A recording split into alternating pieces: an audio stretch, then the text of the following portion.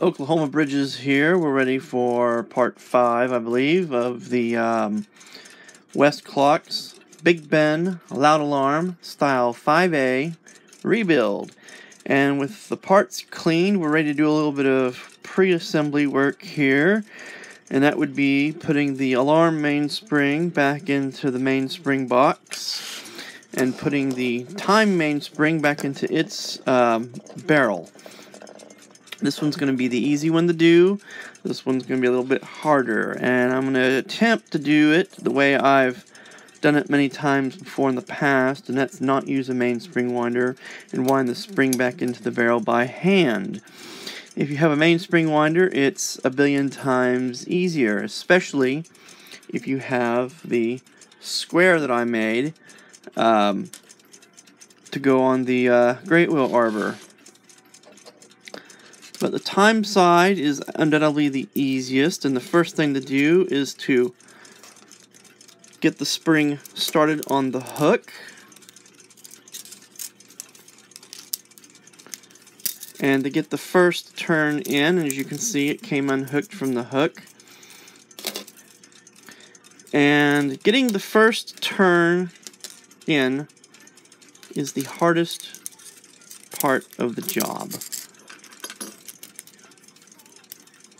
Because you've got to get it past the hook like that so it doesn't snag. Then from there on, it's just a matter of winding the spring back into the barrel. I'm just a little out of practice here.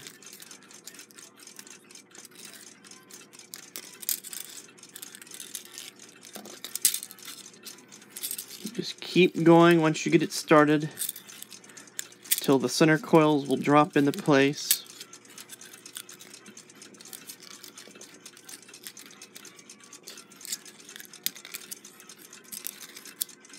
Like that. At this point, we'll oil the spring.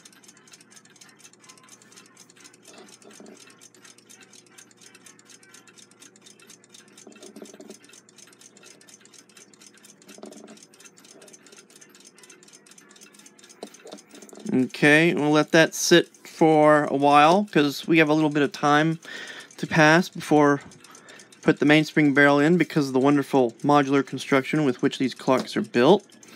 Now for the hard spring. And it's made harder by the fact that I coiled the spring out uh, while cleaning it. And, um, I mean, it's going to be just that much more difficult to install. And this is another one of those deals where the first coil is the hardest one. Because you've got to get it past the the tongue end there. But once you uh, get it going, it's just a matter of going until you have it to where the coils will drop in at the middle there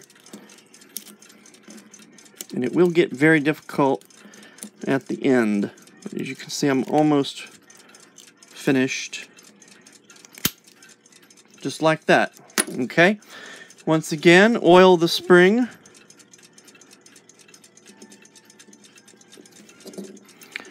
Let the oil soak into the coils.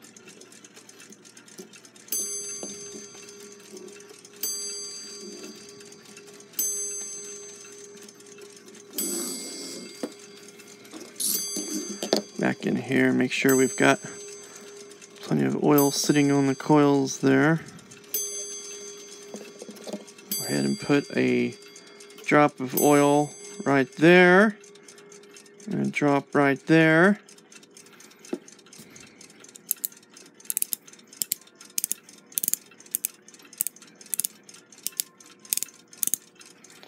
And try not to get the oil everywhere. You don't want this to be the dirty spot in your nice clean clock. Okay. So we'll call this, um, well, this is part five already, I think. So we'll call the next part part five and a half because this was a really short video. But there are the springs. The um, alarm spring back in its box, the time spring back in its great wheel.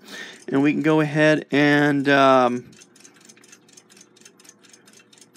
do a little bit of pre-assembly here on this part. Make sure that that's going to go on there correctly.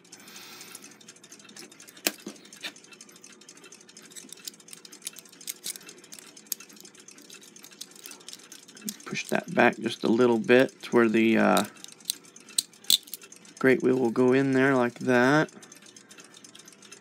And go ahead and put a drop of oil on there. Make sure it works around. And the hook is caught. So that is one alarm assembly all ready to go back into the clock when it's reassembled. So anyway, please join me for the next part and thank you for watching.